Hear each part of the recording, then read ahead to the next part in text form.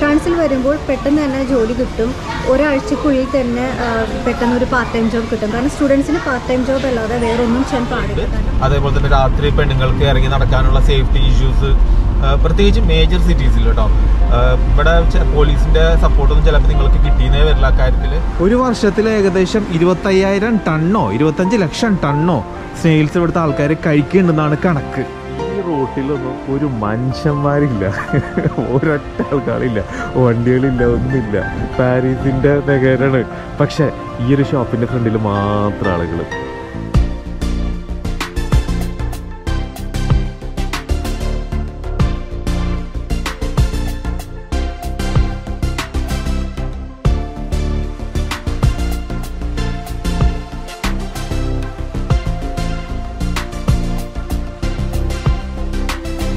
U A സമയം പതിനൊന്നര എന്ന് പറയുമ്പോൾ ഇവിടുത്തെ എട്ടര. അപ്പോൾ ആദ്യത്തെ ദിവസത്തെ കാഴ്ചകളൊക്കെ നിങ്ങൾക്ക് വളരെയധികം ഇഷ്ടപ്പെട്ടെന്ന് വിചാരിക്കുകയാണ് ഞാൻ ഐഫിൾ ടവറിന്റെ ഒരുപാട് സ്ഥലത്തു നിന്നുള്ള ഷോർട്സുകളൊക്കെ എടുത്തിട്ടുണ്ടായിരുന്നു ഇന്നലെ.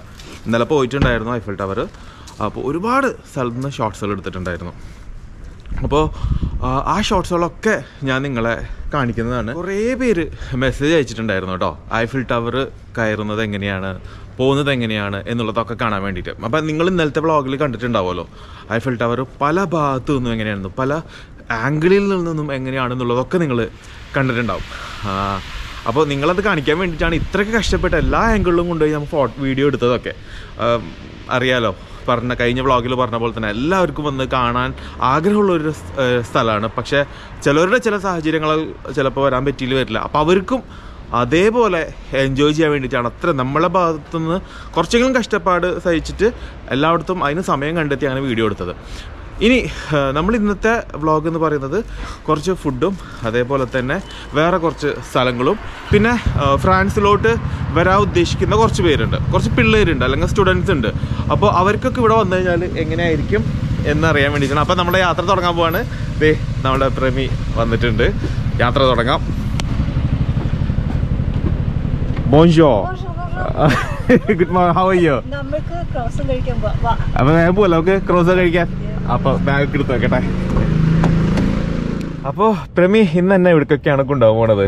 പ്രമിയുടെ ഉത്തരവാദിത്തത്തിൽ എന്നെ കംപ്ലീറ്റ് പ്രമിയുടെ കയ്യിൽ തന്നിരിക്കുകയാണ് എന്താണ് ഇന്നത്തെ പ്ലാൻ ഓക്കെ ഇന്ന് കുറേ പരിപാടി ഉണ്ട് നമുക്ക്. ഒന്ന് നമ്മൾ ക്രോസും കഴിക്കാൻ പോകുന്നു. അതായത് സിദ്ദിഖ് ഖോളയുടെ ക്രോസിനാണ് നമുക്ക് കഴിക്കാൻ പോണത്. ഓക്കെ? അതൊന്ന്. ഒരുപാട് കേട്ടിട്ടുണ്ട്. അതായത് പാരീസിൽ വരാണെങ്കിൽ മസ്റ്റ് മസ്റ്റ് മസ്റ്റ് ട്രൈ ആയിട്ടുള്ള ഒരു ക്രോസ് അല്ലെ? അതെ അതെ. അയാളൊരു യങ് ഷെഫാണ് പാസ്ട്രീസ് മാത്രമാണ് അയാളുടെ ആ ഒരു അയാൾ സ്പെഷ്യലൈസ് ചെയ്യുന്നത്.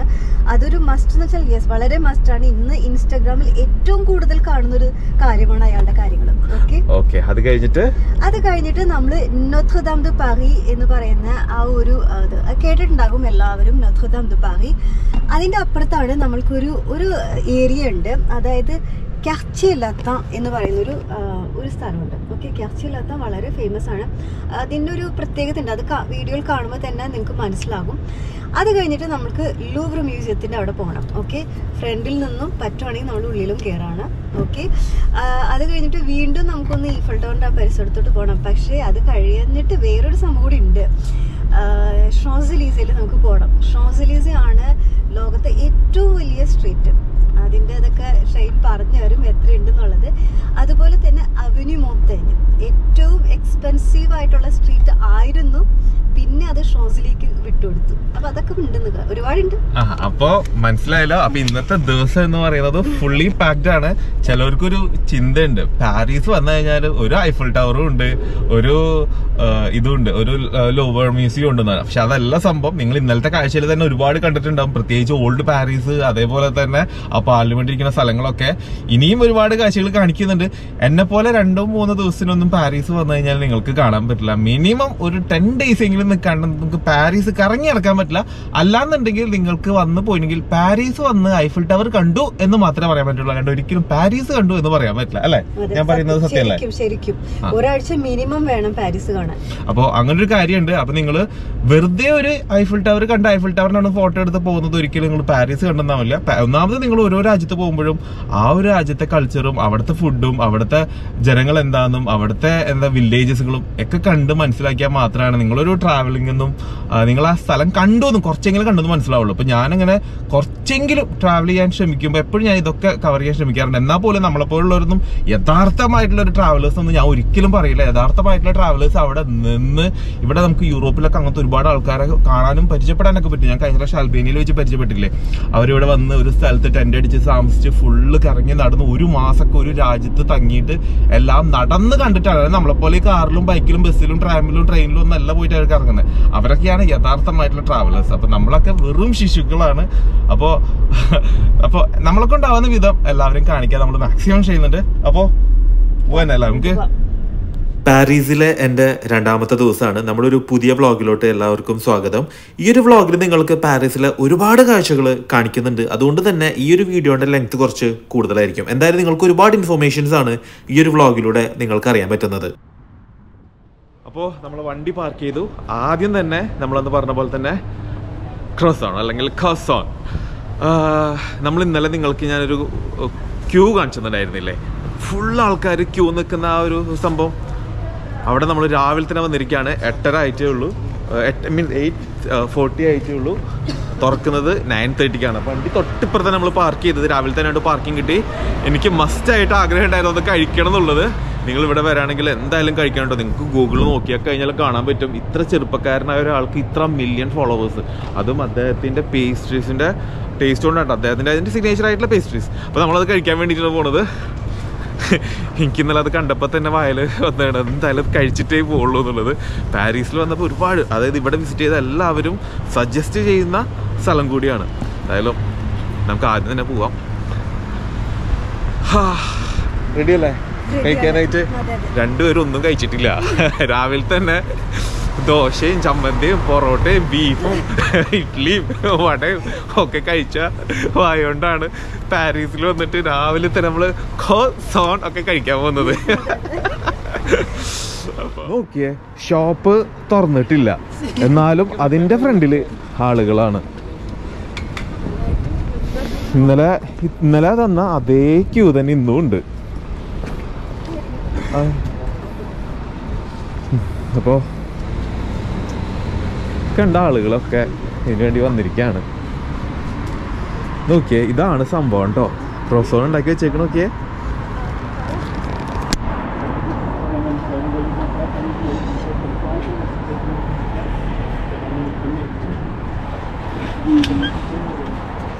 ഇതിനു വേണ്ടിയിട്ടാണ് നമ്മൾ വന്നത്. എന്തായാലും കഴിച്ചിട്ടേ ഇന്ന് പോവുള്ളൂ. ഇത് കഴിച്ചിട്ടേ നമ്മൾ ഇനി എന്തും ചെയ്യുള്ളൂ ഇന്നത്തെ ദിവസം. അപ്പോൾ ക്യൂൽ പോയി നിൽക്കാം. ഈ റോട്ടിലൊന്നും ഒരു മനുഷ്യന്മാരില്ല. ഒരൊറ്റ ആൾക്കാരില്ല.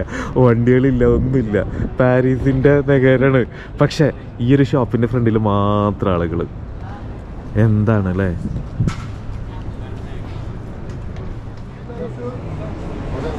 Hi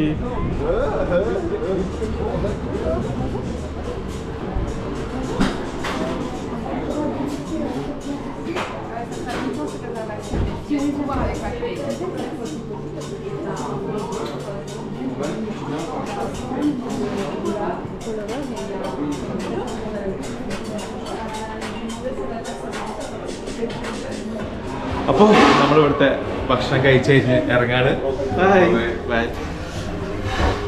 thank you so much അപ്പോൾ ഇതിന്റെ ഡീറ്റെയിൽഡ് ആയിട്ട് ഉള്ള വീഡിയോ എന്റെ ഇൻസ്റ്റഗ്രാമിൽ ഞാനത് കൊടുത്തിട്ടുണ്ട്. ഫ്രാൻസ് എന്ന് പറഞ്ഞ ഹൈലൈറ്റ്സിൽ ചെക്ക് ചെയ്താൽ കാണാൻ പറ്റും എന്തായിരുന്നു ഭക്ഷണം എങ്ങനെയുണ്ടായിരുന്നു എന്തായിരുന്നു നമ്മുടെ റിയാക്ഷൻ അങ്ങനെയുള്ളതൊക്കെ അതിൽ കൊടുത്തിട്ടുണ്ട്. എക്സ്പീരിയൻസ് ചെയ്യേണ്ട ഒരു സംഭവം തന്നെയാണ്.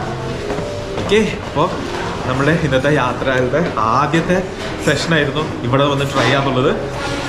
പുറത്തിറങ്ങുമ്പോഴുള്ള ക്യൂ നോക്കിക്കോളൂട്ടോ എങ്ങനെയാന്നുള്ളത് അതും കാണിച്ചു തരാം.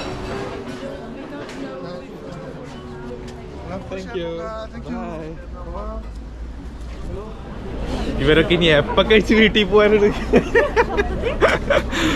അപ്പൊ നമ്മൾ കാറ് പാർക്ക് ചെയ്ത സ്ഥലത്തോട്ട് നടന്നിട്ട് അടുത്ത സ്ഥലത്തോട്ട്.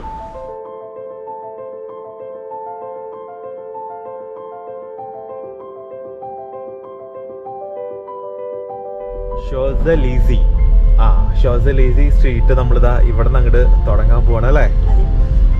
ആ തണുത്തിട്ട് നമ്മൾ ഇന്നലെ വന്ന കണ്ട സ്ഥലമാണ് കയ്യൊന്ന് പുറത്തേക്ക് ഇടണമെന്നുണ്ട് പക്ഷെ ഭയങ്കര തണുപ്പ്. എന്നാലും ഞാൻ പുറത്തേക്ക് ഇടും. നിങ്ങൾ പ്രോപ്പർ വ്യൂവിൽ എന്നെ കാണിച്ചു തരുന്നുണ്ട്.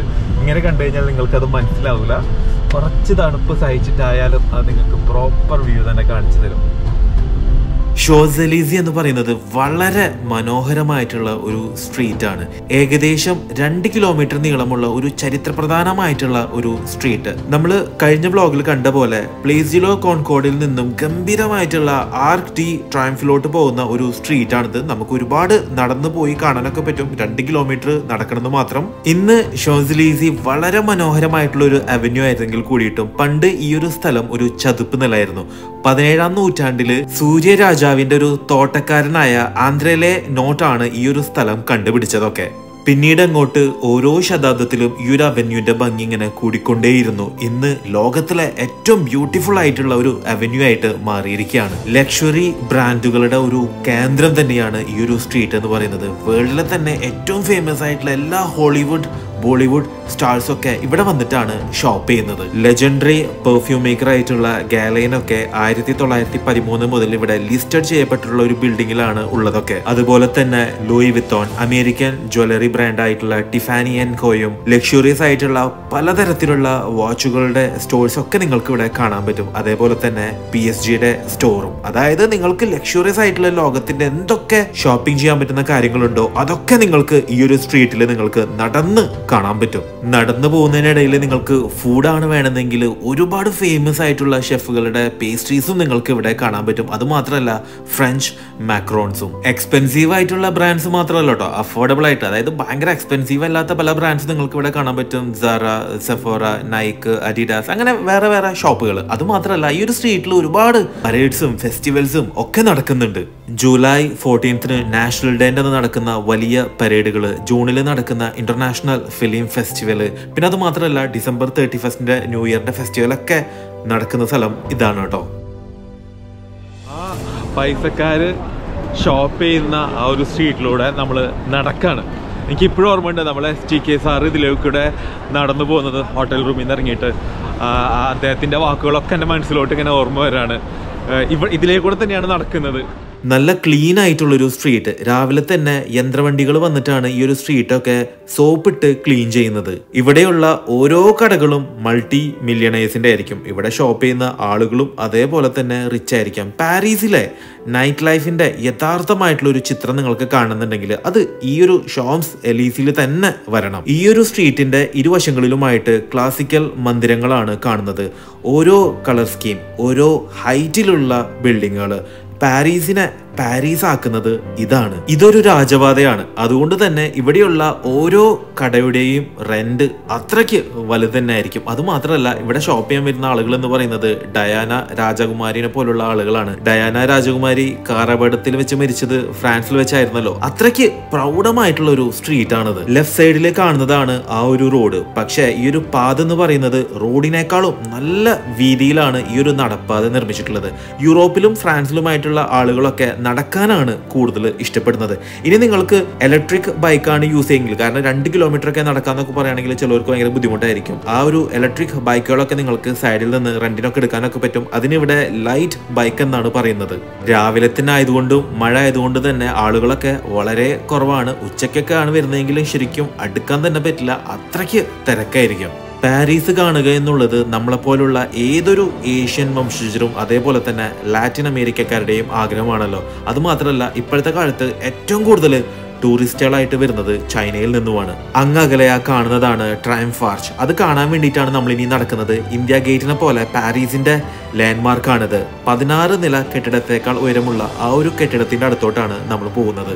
സെറോസ്കിയുടെ ഒരു ഷോപ്പാണ് ഈ കാണുന്നത്. എന്ത് ഭംഗിയാണ് ഭംഗിയാണല്ലേ? എല്ലാവരും ക്രിസ്മസിനെ വരവേൽക്കാനായിട്ട് ഒരുങ്ങി നിൽക്കാണ്. ഏതൊരാളിന്റെയും സ്വപ്ന നഗരമാണ് പാരീസ്. പാരീസിൽ പോയിട്ടുള്ള ഷോപ്പിംഗ് ആ ഒരു ഐഫൽ ടവറൊക്കെ കാണുക എന്ന് പറയുന്നത് ഏതൊരാളുടെയും സ്വപ്നമാണ്. ട്രയംഫ് ആർച്ചിന്റെ അടിയിലോട്ട് പോയി അപ്പുറത്തെത്താനും അതേപോലെ തന്നെ റോഡിന്റെ ഇപ്പുറത്തെ സൈഡിലോട്ട് എത്താനുമായിട്ടുള്ള സബ്വേസ് ഒക്കെ ഓരോ സ്ഥലത്തും നമുക്ക് കാണാനൊക്കെ പറ്റും. Big bus hop off hop on എടുത്തു കഴിഞ്ഞാൽ നിങ്ങൾക്ക് ഇവിടെയുള്ള പാരീസിലെ എല്ലാ കാഴ്ചകളും രാവിലെയും രാത്രിക്കാലത്തെ കാഴ്ചകൾക്ക് സെപ്പറേറ്റ് ആയിട്ടുള്ള ബസ്സുകൾ വരെയുണ്ട്. അപ്പോൾ നിങ്ങൾക്ക് ആ കാഴ്ചകളൊക്കെ കാണാം. നടന്ന് നടന്ന് ട്രയംഫ് ആർച്ചിന്റെ അടുത്തെത്തി. ഐഫിൽ ടവർ ഉണ്ടാവുന്നേക്കാൾ മുന്നായിട്ട് പാരീസിന്റെ ചിഹ്നമായിട്ട് കണ്ടിരുന്നതാണ് ഈ ഒരു ട്രയംഫ് ആർച്ച് ഡൽഹിയിലെ ഇന്ത്യ ഗേറ്റും അതിന്റെ മുന്നിൽ നീണ്ടു കിടക്കുന്ന രാജ്പഥം പോലെയാണ് ഇവിടുത്തെ ഏറ്റവും പ്രധാന പാതയും. അതിന്റെ മുന്നിലെ കമാനഗോപുരമായ ട്രയംഫ് ആർച്ചുമാണ് നമുക്ക് ഇവിടെ കാണാൻ കഴിയുന്നത്. അത് കാണാനായിട്ട് പതിനായിരക്കണക്കിന് ആളുകളാണ് ദിവസവും ഇവിടെ എത്തുന്നത്. പുരാതന റോമൻ വാസ്തുവിദ്യയുടെ നിയോ ക്ലാസിക്കൽ അനുകരണമാണ് ഫ്രഞ്ചുകാർ വിളിക്കുന്ന ഈ ഒരു മഹാനിർമ്മിതിയായ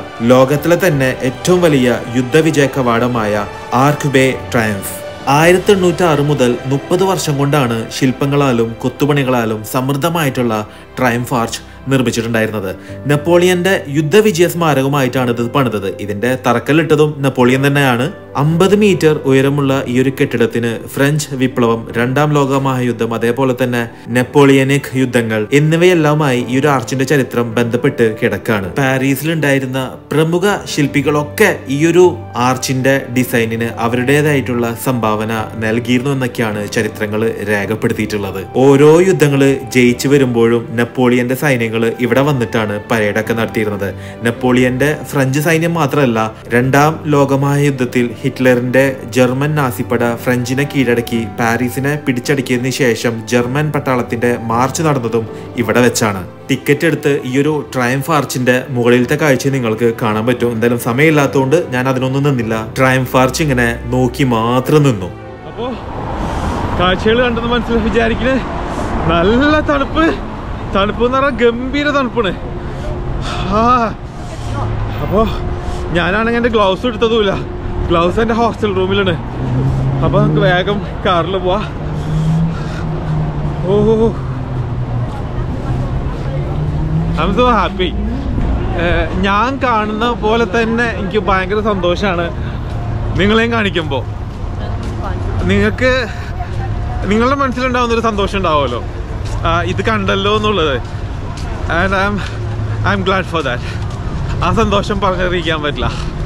ട്രയംഫ് ഫാർച്ചിന്റെ ഫ്രണ്ടിൽ ഇന്ന് എന്തോ ഒരു സ്റ്റേജ് ഷോകളൊക്കെ നടക്കുന്നുണ്ട്. അതുകൊണ്ട് തന്നെ രാവിലെ തന്നെ സ്റ്റേജ് ഉണ്ടാക്കാനും അതിന്റെ സെക്യൂരിറ്റി ആയിട്ട് ഒരുപാട് പോലീസുകാരൊക്കെ ഉണ്ട്. ഇനി നമ്മൾ പോകുന്നത് ഈ ഒരു ഷോസലീസി വരുന്നേക്കാൾ മുന്നേ എല്ലാ റിച്ച് ആയിട്ടുള്ള ആളുകളും വന്നിരുന്ന വേറൊരു സ്ഥലമുണ്ട്. വേറൊരു സ്ട്രീറ്റ് ഉണ്ട്. ഈ ഒരു ഷോസലീസി വരുന്നവരെ അതായിരുന്നു ഏറ്റവും റിച്ചസ്റ്റും ഏറ്റവും കൂടുതൽ റിച്ച് ആയിട്ടുള്ള ആളുകൾ വന്ന് ഷോപ്പ് ചെയ്തിരുന്ന സ്ഥലവും. അവന്യൂ മോൺടൈൻ ഇതിന്റെ പ്രൊണൗൺസിയേഷൻ എന്തായാലും തെറ്റായിരിക്കും ഫ്രഞ്ച് വാക്കിൽ ആഡംബരമായിട്ടുള്ള ഇഷ്ടം പോലെ ഷോപ്പുകളും നമുക്ക് ഇവിടെ കാണാൻ പറ്റും. ഷോസ്ലീതി കണ്ട പോലെ തന്നെ Chanel Christian Dior Louis Vuitton Chloe Celine Palmer Thierry Mugler Saint ഗ്ലോറോൺ Prada Gucci. അങ്ങനെ ബ്രാൻഡുകളുടെ ഒരു വരി തന്നെയാണ് ഈ ഒരു സ്ട്രീറ്റിലും. പക്ഷേ ഷോംസലീസിൽ കണ്ട തിരക്കൊന്നും നമുക്ക് ഇവിടെ കാണാൻ പറ്റുന്നില്ല. ചിലപ്പോൾ ആ ഒരു രാവിലെ ആയതുകൊണ്ടായിരിക്കാം തിരക്കുകളൊന്നും കാണാഞ്ഞത്. രാത്രിയൊക്കെ നിങ്ങൾ വരുന്നുണ്ടെങ്കിൽ തീർച്ചയായിട്ടും ഇവിടെ ഒരുപാട് ആളുകളെ കാണാൻ പറ്റുന്നതാണ് എന്റെ കൂടെ ഉണ്ടായിരുന്ന പ്രോമിയൊക്കെ എന്റെ അടുത്ത് പറഞ്ഞത്.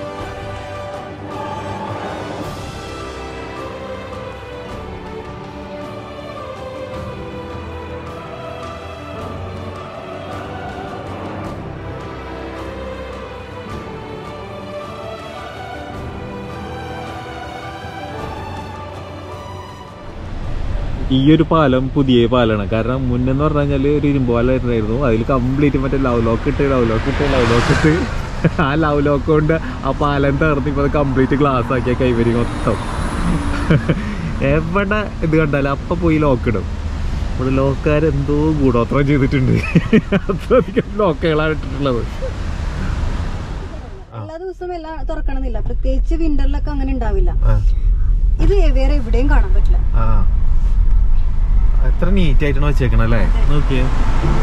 പാരീസിലെ പെട്ടിക്കടകളാണ് ആ കാണുന്നത്. അതായത് സ്ട്രീറ്റ് ഷോപ്പുകൾ ആ ഒരു കട അടക്കാനും തുറക്കാനും പറ്റുന്ന രീതിയിൽ എന്ത് രസത്തിലാണ് അവർ വെച്ചേക്കുന്നത്? നഗര സൗന്ദര്യത്തിന്റെ ഭാഗമായിട്ടാണ് അവർ പാരീസിലുടനീളം ഇങ്ങനെയുള്ള ചെറിയ ചെറിയ പെട്ടിക്കടകൾ അതായത് ഇരുമ്പിന്റെ കവർ കൊണ്ട് മൂടാൻ പറ്റുന്ന തരത്തിലുള്ള ചെറിയ ചെറിയ പെട്ടിക്കടകൾ ഈ ലെഫ്റ്റ് സൈഡിൽ കാണുന്നതാണ് പാരീസിലെ ഫേമസ് ആയിട്ടുള്ള ലൂവ്രെ മ്യൂസിയം ഏകദേശം ഇരുന്നൂറ് വർഷത്തോളമായിട്ട് ഇതൊരു പാലസ് ആയിരുന്നു. അതൊരു രാജ കൊട്ടാരായിരുന്നു.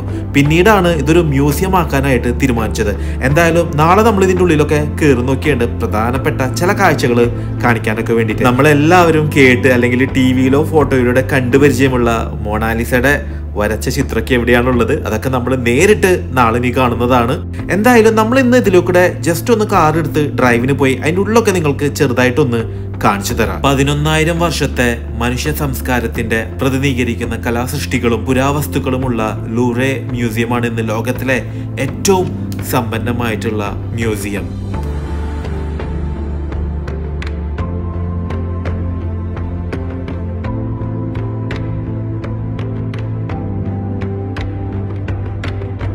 ലൂവ്ര മ്യൂസിയത്തിന്റെ ഈ ഒരു ചെറിയ കാഴ്ചകൾ കണ്ടിട്ട് നമ്മൾ ഇനി അടുത്തൊരു സ്ഥലത്തോട്ട് പോവാണ്. പാരീസിൽ വന്നു കഴിഞ്ഞിട്ട് നിങ്ങൾക്ക് സ്ട്രീറ്റ് ഷോപ്പിംഗ് ഒക്കെ ചെയ്യണോ? അല്ലെങ്കിൽ സ്ട്രീറ്റ് ഫുഡൊക്കെ കഴിക്കണോ? അല്ലെങ്കിൽ നിങ്ങൾക്ക് സവനിയസ് ഒക്കെ വാങ്ങിക്കണോ? അങ്ങനെ ഒരു സ്ഥലത്തോട്ടാണ് ഇനി പ്രൊമി എന്നെ കൊണ്ടുപോകുന്നത്. സ്ട്രീറ്റിലോട്ട് പെട്ടെന്ന് വരണമെന്നുണ്ടെങ്കിൽ പ്രമേയം എന്ത് സെർച്ച് ചെയ്യണം? ആൾക്കാർ ഗൂഗിളിൽ സെർച്ച് ചെയ്യേണ്ടത് എന്താണ്? എഴുതണം. അതായത് ശരിക്കും പറഞ്ഞാൽ ഇത് ലാറ്റിൻ സ്ട്രീറ്റ് ആണ്. ലാറ്റിൻ ഏരിയ എന്ന് വേണമെങ്കിൽ പറയാം. അത് ടൈപ്പ് ചെയ്താൽ മതി. അല്ലെങ്കിൽ നോത്രദാം ദ പാറിയില്ലേ നോത്രദാം ദ പാറി എന്നടിച്ചാലും ഈ ഒരു സ്ട്രീറ്റിലോട്ട് വരാൻ വരും അല്ലേ? അപ്പൊ ഞാൻ എന്തായാലും ഇതിന്റെ കറക്റ്റ് സ്പെല്ലിംഗ് ഞാൻ താഴെ കൊടുക്കുന്നുണ്ട്. അപ്പൊ നിങ്ങൾക്ക് അത് കാണുമ്പോൾ മനസ്സിലാവും എന്തായാലും. അപ്പൊ നിങ്ങൾ ഗൂഗിളിൽ സെർച്ച് ചെയ്തിട്ട് നിങ്ങൾ ബസ്സിനോ ട്രെയിനിനോ കാറിനോ എന്തെങ്കിലും വന്നാൽ മതി ഓക്കെ നമ്മളൊരു കുഞ്ഞ് സ്ട്രീറ്റിലോട്ട് വന്നിരിക്കുകയാണ് ഒരു പള്ളിയുടെ അടുത്തുള്ളത്. വേറൊരു കാര്യം കൂടി ഉണ്ട്. ഇവിടെ നിങ്ങൾക്ക് ഇതേപോലെ സ്നെയിൽസ് കാണാൻ പറ്റും. ഒരു വർഷത്തിൽ ഏകദേശം ഇരുപത്തയ്യായിരം ടണ്ണോ ഇരുപത്തഞ്ച് ലക്ഷം ടണ്ണോ സ്നെയിൽസ് ഇവിടുത്തെ ആൾക്കാർ കഴിക്കുന്നുണ്ടെന്നാണ് കണക്ക്. എനിക്ക് കറക്റ്റായിട്ട് അറിയില്ല. വായിച്ച് എവിടെയോ കേട്ട ഇത് മാത്രമേ ഉള്ളൂ. കഴിച്ചിട്ടില്ലേ സ്നെയിൽസ് ഞാൻ ഒരു വട്ടം കഴിച്ചിട്ടുണ്ട്. കഴിച്ചിട്ടുള്ളൂ അല്ലേ? വാ അപ്പം നമുക്ക് ഈ ഒരു ചെറിയ ചെറിയ സ്ട്രീറ്റിന്റെ ഇടയിലൂടെ ഒക്കെ നമുക്ക് നടക്കാം. ഇവിടെ കൂടുതലും അറബ്സിന്റെ ഷോപ്പുകൾ നിന്നുണ്ട്. ഒക്കെ ഉണ്ട് അല്ലേ ആ ഓക്കെ. ഇതിന്റെ പ്രത്യേകത എന്ന് വെച്ചാൽ ഇപ്പൊ ഈ സ്ഥലത്തിന്റെ പേര് കച്ചിലത്ത എന്നാണ്. കച്ചിലത്ത ഓക്കെ. എല്ലാ റോഡുകളും ഒരുപോലെ ആണെന്നില്ല ഇത്ര കൊച്ചു കൊച്ചു റോഡുകളാണ്. നിറച്ചും ബുറ്റിക്സ് ആണ് റെസ്റ്റോറന്റും റെസ്റ്റോറന്റും ഒക്കെ ഉണ്ട്. പക്ഷേ ഓരോന്നിനും അതിന്റെതായ പ്രത്യേകതയും ഭംഗി ഉണ്ടാകും അപ്പോൾ അതൊന്ന് നോട്ട് ചെയ്യണം ശരിക്കും ഓക്കെ. ഷവർമ ഓക്കെ ഫലാഫേൽ നമുക്ക് ഈ ഫലാഫിലൊക്കെ കണ്ടു കഴിഞ്ഞാൽ അപ്പ എടുക്കാൻ തോന്നാം. കബാബ്. ഓക്കെ. ആ. നമ്മൾ ഇന്നലെ കഴിച്ച സാധനം. മക്കീനൊക്കെയുള്ള സാധനം ക്ലീൻ ആക്കിക്കൊണ്ടിരിക്കുന്നത് ഇത് ഫോണ്ട് നമ്മൾ സ്വിറ്റ്സർലാൻഡിൽ നിന്ന് ട്രൈ ചെയ്തിട്ടുണ്ടായിരുന്നു. ഫോണ്ടിയോ ഇതാണ് ചീസ് അവർ സ്നെയിലും അതുപോലെ തന്നെ ഇതൊക്കെ ഇട്ട് അവർ ഉണ്ടാക്കി തരും. ഓക്കെ നമ്മളെ കല്ലുമ്മക്കായ എന്ന് പറയില്ലേ? ഇതാണ് കേട്ടോ ആ ഒരു ചീസ് ഇങ്ങനെ ചൂടാക്കിയിട്ടായിരിക്കും അവർ തരാം. പല രീതിയിൽ അവർ കൊടുക്കുന്നുണ്ട്. ഓക്കെ ഇവിടെ ഏറ്റവും ഫേമസ് ആയിട്ടുള്ള സംഭവമാണ് ഈ തവള കേട്ടാ കേട്ട് കണ്ടിട്ടുണ്ടോ ഈ തവള? ഭയങ്കര ഫേമസ് ആണ് ഇവിടെ ഫുഡിന്റെ ഇതിൽ ആ തവളക്ക് ഒരു പ്രത്യേക പേരൊക്കെ ഉണ്ട്. ഞാൻ നമ്മുടെ മാക്വൈൻസിന്റെ വ്ളോഗിൽ കണ്ടിട്ടുണ്ട് പുള്ളിക്കാരൻ തവള കഴിക്കണത്. ആ, ഇവിടെ വന്നിട്ട്. പക്ഷെ നമുക്ക് തവള എന്ന് പറയാൻ ബുദ്ധിമുട്ട്. ചീസ് നോക്കിയേ. മണ്ണടിച്ചിട്ട് ഇരിക്കാൻ പറ്റില്ലായിരിക്കും ആ ചീസൊക്കെ. പക്ഷെ അതാണ് ഒറിജിനൽ അയ്യോ കബാബ്സ് കാണുമ്പോൾ കഴിക്കാൻ തോന്നുന്നു. വയറ് ഫുള്ളായിട്ടിരിക്കുന്നു ആ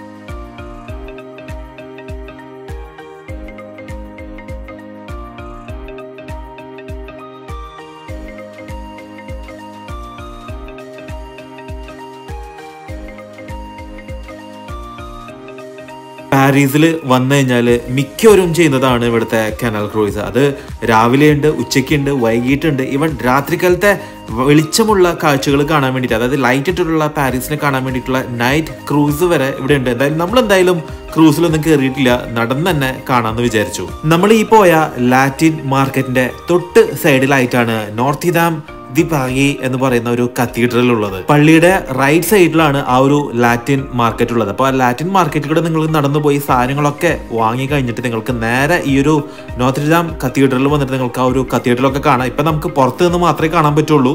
വലിയ ചരിത്രമുള്ള ഒരു കത്തീഡ്രലാണ്. ഇപ്പോൾ അത് പണി നടന്നുകൊണ്ടിരിക്കുകയാണ്. കാരണം രണ്ടായിരത്തി പത്തൊമ്പതിൽ വലിയൊരു തീപിടുത്തമൊക്കെ ഉണ്ടായിട്ട് അതിന്റെ ഗോപുരങ്ങളൊക്കെ കത്തി നശിക്കുകയൊക്കെ ചെയ്തിരുന്നു. അപ്പോൾ രണ്ടായിരത്തി ഇരുപത്തിനാലിലാണ് അത് ഇനി റീ ഓപ്പൺ ചെയ്യാന്നൊക്കെയാണ് അവർ അനൗൺസ് ചെയ്തിട്ടുള്ളത്. ബിഗ് ബസ്സിന്റെ സ്റ്റോപ്പ് ഒക്കെ ഇവിടെ ഉണ്ട്. അപ്പോൾ നിങ്ങൾ ബിഗ് ബസ് എടുക്കുകയാണെങ്കിൽ പോലും നിങ്ങൾക്ക് ഇവിടെ ഇറങ്ങി കാഴ്ചകളൊക്കെ കാണാനൊക്കെ പറ്റും. പിന്നെ അവിടെ ഒരുപാട് പ്രാവുകൾ നമുക്ക് കാണാം. ആ പ്രാവുകളെ ഫീഡ് ചെയ്യാനായിട്ട് നമുക്ക് അവിടെ നിന്ന് അരിമണിയൊക്കെ നമുക്ക് വാങ്ങിക്കാൻ കിട്ടും. അതിരുന്ന് വിൽക്കുന്ന ആളുകളെ നമുക്ക് കാണാൻ പറ്റും. ഫോട്ടോസ് എടുത്തു തരുന്ന ആളുകളെ നമുക്ക് കാണാൻ പറ്റും. ഭിക്ഷാടനം ചെയ്യുന്ന ആളുകളെ കാണാൻ പറ്റും. അത് ഇവിടുത്തെ പാരീസിലെ ഒരു സ്ഥിരം കാഴ്ചയാണ്. ഭിക്ഷാടനം എന്ന് പറയുന്നത്.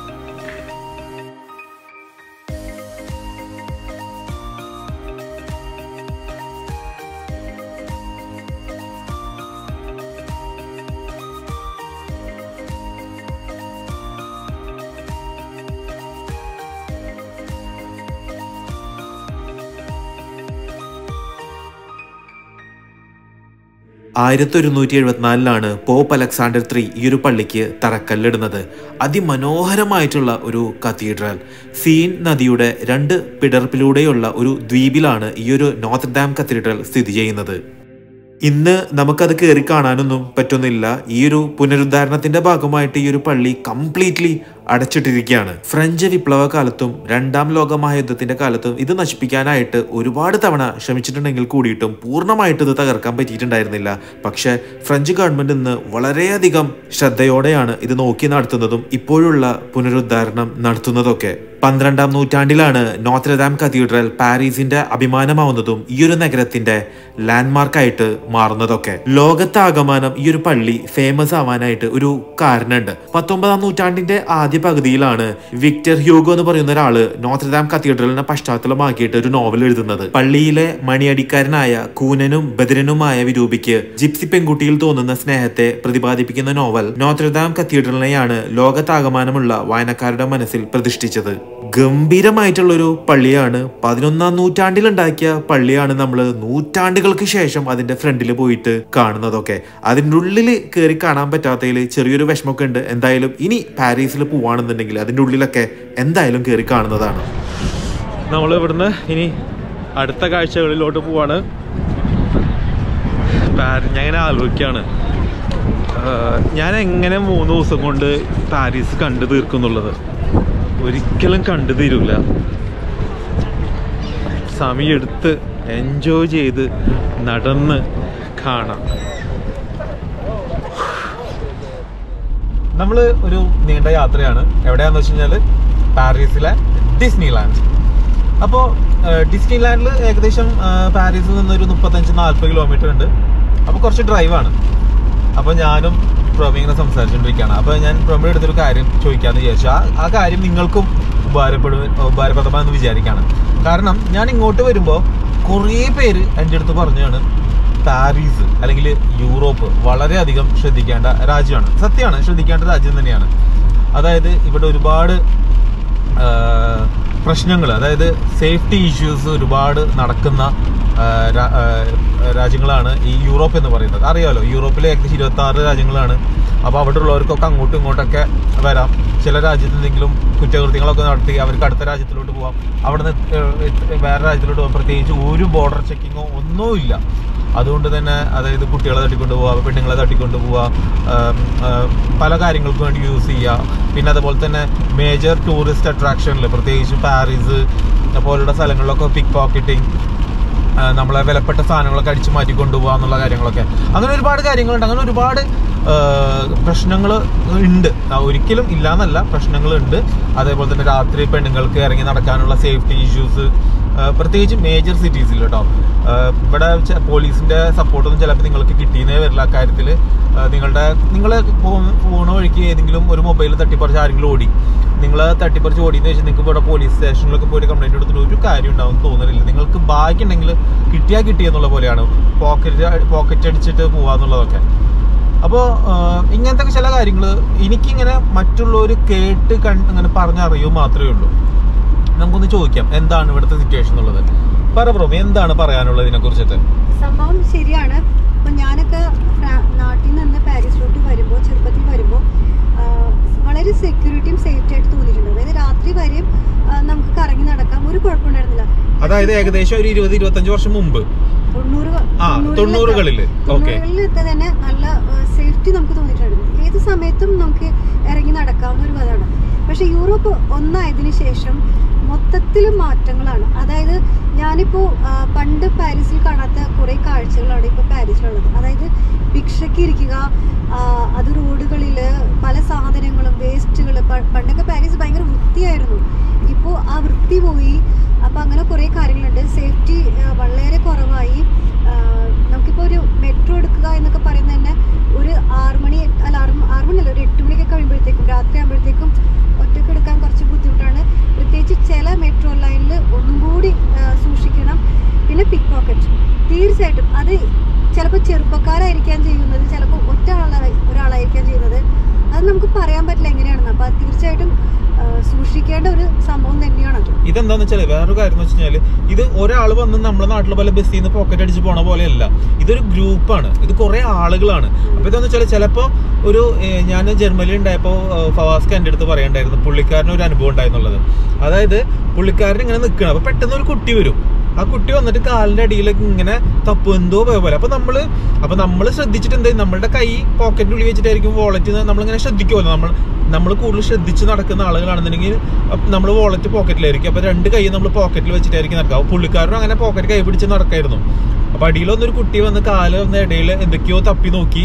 അങ്ങനെ തപ്പി നോക്കിയപ്പോൾ നമ്മൾ സ്വാഭാവികമായി അറിയാതെ നമ്മളെ കയ്യിൽ നിന്ന് പോക്കറ്റിൽ നിന്ന് ഇതെടുത്തിട്ട് പോയി. അപ്പോഴത്തേനും വേറെ ആൾ ബാക്കിൽ നിന്ന് ഒന്നും തട്ടി പോയി. നോക്കിയപ്പോൾ പിന്നെ വോളറ്റ് കാണാനില്ല കുട്ടീനെ കാണാനില്ല.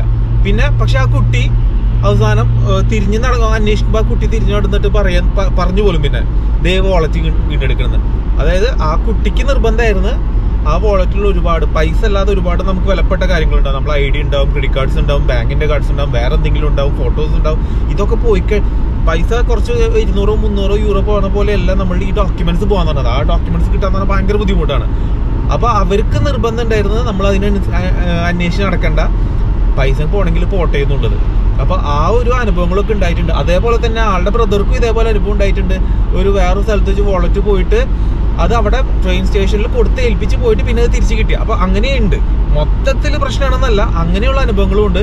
അപ്പൊ നമ്മൾ മൊത്തത്തിലൊന്ന് ശ്രദ്ധിക്കുക നമ്മൾ എവിടെ പോവാണെന്നുണ്ടെങ്കിലും ഒബ്സേർവ് ചെയ്യുക ആ, നം- നമ്മളുടെ കയ്യിൽ പൈസ ഉണ്ട് അല്ലെങ്കിൽ നമ്മളുടെ കയ്യിൽ വിലപ്പെട്ട സംഭവങ്ങൾ ഉണ്ടെന്നുള്ള ചിന്ത നമുക്ക് എപ്പോഴും നമ്മുടെ കൈ മനസ്സിൽ ഉണ്ടായിരിക്കുക അത് ഉണ്ടായി കഴിഞ്ഞാൽ കുറച്ചുകൂടി ഒരു ഒരു സേഫ്റ്റി ആയിട്ട് വെക്കാം. പിന്നെ രാത്രി ആകുമ്പോൾ കാര്യങ്ങൾ ഇപ്പൊ നമ്മളുടെ ഒരുപാട് ആൾക്കാർ ഫ്രാൻസിൽ നിന്നായാലും മറ്റുള്ള യൂറോപ്യൻ രാജ്യങ്ങളിൽ നിന്നായാലും ദുബായിലൊക്കെ ഒരുപാട് പേര് വരുന്നുണ്ട്. കാരണം അവിടെ ഒരു അവിടെ ഭയങ്കര സേഫ്റ്റിയാണ് നമുക്ക് അങ്ങനത്തെ കാര്യത്തിൽ ചിന്തിക്കാൻ വേണ്ട. രാത്രിയൊക്കെ ഏത് പെണ്ണുങ്ങൾക്ക് ഏത് പാതിരാത്രിക്കും ഇറങ്ങി നടക്കാം.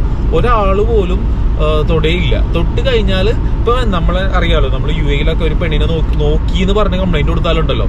നമ്മളുടെ അവസ്ഥ എന്തായിരിക്കും? പക്ഷെ ഇവിടെ ഒരാളെ നോക്കി എന്ന് പറഞ്ഞൊന്നും ഒരു പ്രശ്നവും ഇല്ല അങ്ങനെയുള്ള ഒരു രാജ്യമല്ല പക്ഷെ എന്നാലും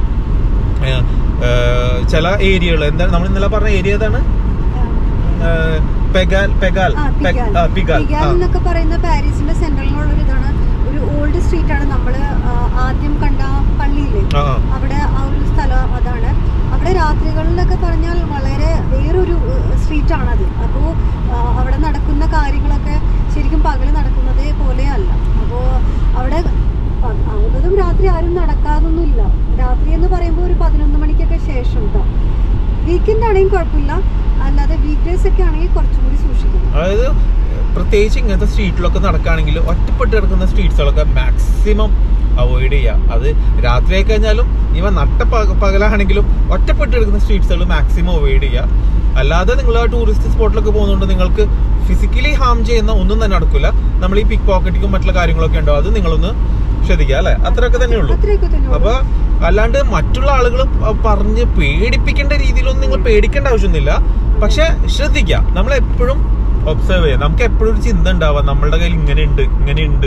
അല്ലെങ്കിൽ നമ്മുടെ കയ്യിൽ പൈസ ഉണ്ട് എന്നുള്ളൊക്കെ നമ്മളെ കയ്യിൽ എപ്പോഴും ശ്രദ്ധിക്കുക. സാധനങ്ങളൊക്കെ ശ്രദ്ധയില്ലാണ്ട് എവിടെയെങ്കിലും വെച്ച് പോവാതിരിക്കുക. ചിലപ്പോൾ നമ്മളെ കയ്യിൽ രണ്ട് ക്യാമറ ഉണ്ടെങ്കിൽ ഈ ഒരു ക്യാമ ഞാൻ ചിലപ്പോൾ ഈ- ഈ ഒരു ഗോപ്രോ ഞാൻ ചിലപ്പോൾ സൈഡിൽ വെച്ചിട്ടായിരിക്കും എന്റെ ഫോണിൽ എടുക്കുക. അപ്പം ഞാൻ എന്തായാലും ശ്രദ്ധിക്കും. ആരെങ്കിലും ഉണ്ടോ അവിടെ? അങ്ങനെ ആരും ഇല്ലാത്ത സ്ഥലത്തേ വെക്കുള്ളൂ. അല്ലെങ്കിൽ ചിലപ്പോൾ റൊമി കൂടണമെങ്കിൽ റൊമിയുടെ കയ്യൊക്കെ കൊടുത്തിട്ടാണ് ഞാൻ എന്റെ എന്റെ ഫോണിൽ ഞാൻ ഫോട്ടോ എടുക്കുക. അപ്പം നിങ്ങൾ അങ്ങനത്തെ കാര്യങ്ങളൊക്കെ ഒന്ന് ശ്രദ്ധിച്ചാൽ മതി. ഓക്കെ കയ്യിൽ ഓക്കെ അപ്പം അതും വളരെ ഇമ്പോർട്ടന്റ് ആയിട്ടുള്ള കാര്യമാണ്. പാസ്പോർട്ടിന്റെ ഒരു ഇത്. ഇനിയിപ്പോൾ മൊബൈലിലുണ്ടെങ്കിൽ മൊബൈലിൽ എന്തായാലും കയ്യിലുണ്ടാവുക. പാസ്പോർട്ടിന്റെ ഒരു ഇത്. മൊബൈലിൽ പോയാലുള്ള കാര്യവും അറിയാമല്ലോ നിങ്ങൾക്ക്. പിന്നെ എന്തെങ്കിലും ഒരു ഇഷ്യൂ ഇനിയിപ്പോൾ നിങ്ങൾക്ക് അത് പോയി എന്ന് തന്നെ ഇരിക്കട്ടെ. എന്താണ് ശരിക്കും അങ്ങനെ? ഇപ്പൊ എന്റെ കയ്യിലുള്ള പാസ്പോർട്ട് പോയി. പക്ഷെ എനിക്ക് നാട്ടിൽ പോയാൽ വേണം എമർജൻസി ആയിട്ട് എന്താണ് നമ്മൾ ചെയ്യേണ്ടത്? ആദ്യം പോലീസ് സ്റ്റേഷനിൽ പോയിട്ട് ഒരു കംപ്ലൈന്റ് കൊടുക്കുക എന്നിട്ട് പിന്നെ പോകേണ്ടത് ഇന്ത്യൻ എംബസിയിലാണ് ഇന്ത്യൻ എംബസി പോയിട്ട് കഴിഞ്ഞിട്ട് അവരോട് ഈ കാര്യം പറയുക. അപ്പോൾ നോർമലി അവർ അതിന്റെ പ്രോസസ്സിങ് സ്റ്റാർട്ട് ചെയ്യും. അതായത് നിങ്ങൾക്കൊരു നോർമലി ഒരു പാസ്പോർട്ട് ചെയ്യാനുള്ള കാര്യങ്ങളൊക്കെ ചെയ്യും സമയമെടുക്കും അതാണ് അതിന്റെതായ ഒരു ബുദ്ധിമുട്ട് ഇപ്പൊ നമ്മളൊരു ഫ്രണ്ട് പറഞ്ഞിട്ടുണ്ടായിരുന്നു ഇങ്ങനെ യൂറോപ്പിൽ വന്നിട്ട് പാസ്പോർട്ട് അടിച്ചുകൊണ്ട് പോയി എന്നുള്ളത് ഡോക്യുമെന്റ്സിന്റെ ഒപ്പം. മുന്നൂറ് യൂറോ കൊണ്ട് ചെലവായി എന്ന് പറഞ്ഞു എന്നിട്ട് പെട്ടെന്ന് കിട്ടാനായിട്ടൊക്കെ. അപ്പൊ അങ്ങനത്തെ ഒരു കാര്യങ്ങളുണ്ട്. അപ്പൊ നിങ്ങൾ ഇനിയിപ്പോ അത് പോയിന്നിരിക്കട്ടെ. നിങ്ങൾ ആദ്യം പോലീസ് സ്റ്റേഷനിലും ഇന്ത്യൻ എംബസിയിലൊക്കെ പോവാ. പാനിക് ആവാതിരിക്കുക. മാക്സിമം ശ്രദ്ധിക്കുക ഇങ്ങനത്തെ കാര്യങ്ങളൊക്കെ എന്താണെന്നുള്ളത് യൂറോപ്പിൽ പ്രത്യേകിച്ച് യൂറോപ്പിൽ ട്രാവൽ ചെയ്യുമ്പോൾ നമ്മളെ മിഡിൽ ഈസ്റ്റിലെ പോലത്തെ അത്രയ്ക്ക് സേഫ്റ്റി ആയിട്ടുള്ള ഒരു രാജ്യമല്ല അപ്പൊ നമ്മൾ ശ്രദ്ധിക്കണം എന്ന് മാത്രം ഇങ്ങനത്തെ കാര്യങ്ങൾ അല്ലേ? അത്യാവശ്യം ഓക്കെ. അപ്പൊ നിങ്ങൾക്ക് മനസ്സിലായെന്ന് വിചാരിക്കാണ്. നമ്മളുടെ ഡിസ്നി ലാൻഡിലോട്ടുള്ള യാത്ര തുടങ്ങിക്കൊണ്ടിരിക്കുകയാണ്. അതല്ലേ? Okay okay okay. ഇത് ഭയങ്കര മഴയാണ്. അതുകൊണ്ട് കംപ്ലീറ്റ് മൂടിക്കെട്ടി നിൽക്കുകയാണ്.